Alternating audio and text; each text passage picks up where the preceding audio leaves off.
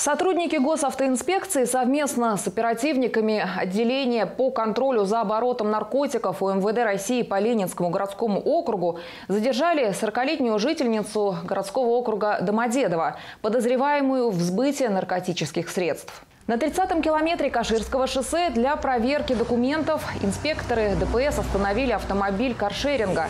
При беседе с полицейскими женщина-водитель заметно нервничала и вела себя подозрительно. Полицейскими на место была вызвана следственно-оперативная группа. В результате досмотра транспортного средства обнаружены и изъяты 29 пакетов, 24 свертка и прозрачный пластиковый контейнер с неизвестными веществами. А какие наркотики? Я вообще без понятия.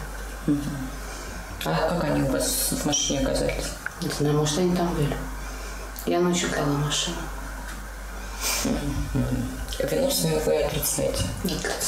Согласно заключению эксперта, содержимое трех свертков является производным наркотического средства N-метилофедрона массой более 350 граммов.